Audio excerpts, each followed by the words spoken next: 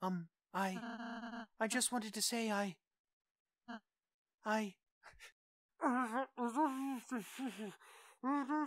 What?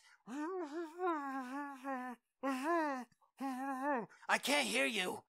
Hey, can you stop mumbling in your hat for a sec? I can barely hear you, dude. Uh, oh, I'm sorry. I'm actually a goat. Um, Kris, Susie, I. I'm a boy, dang it! I hope I can see you again soon. People think that my face looks feminine, and your shock is not because I'm a girl, it's a shock because I look similar to Asriel. But people think that I'm a girl for some reason, and I've thought that for years. But I said literally that I'm the prince. It even says the power of Fluffy Boy shines within you.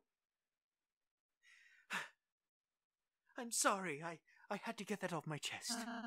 Next time I'll make you lots of yummy cakes, all right?